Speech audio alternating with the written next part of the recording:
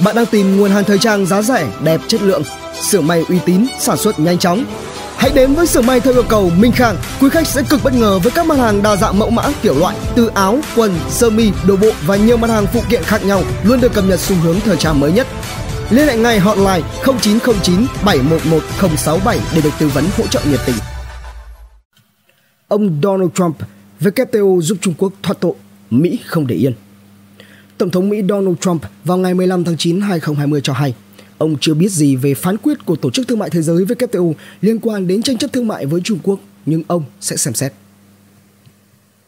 Ông Trump nhắc lại ông không phải là một người hâm mộ của WTO. Tổ chức đưa ra phán quyết cho rằng Mỹ đã vi phạm các quy tắc thương mại toàn cầu khi áp đặt mức thuế hàng tỷ đô la Mỹ trong cuộc chiến thương mại với Trung Quốc.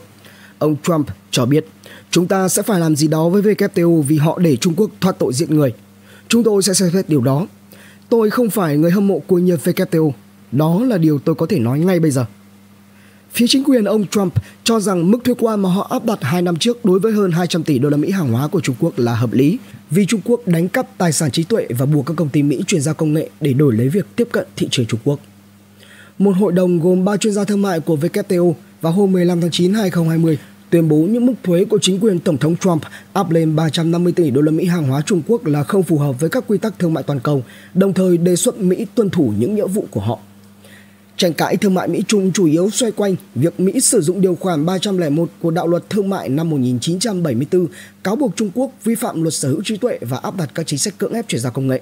Điều này cho phép Tổng thống Mỹ áp thuế và các biện pháp hạn chế nhập khẩu khác khi một nước có các quy tắc thương mại không công bằng làm ảnh hưởng đến hoạt động thương mại của Mỹ và Washington thì có quyền phản đối phán quyết của WTO bằng cách nộp đơn kháng cáo trong vòng 60 ngày tới. Phản ứng gay gắt, đại diện thương mại Mỹ Robert Lighthizer cho biết rằng báo cáo của hội đồng này đã xác nhận những gì chính quyền ông Trump đã nói trong 4 năm qua rằng WTO hoàn toàn không đủ khả năng để ngăn chặn các hoạt động công nghệ gây hại của Trung Quốc. Trong khi đó, Bộ Thương mại Trung Quốc nhấn mạnh rằng Bắc Kinh ủng hộ hệ thống thương mại đa phương và tôn trọng các quy tắc cũng như phán quyết của WTO, đồng thời hy vọng rằng Washington cũng sẽ làm như vậy.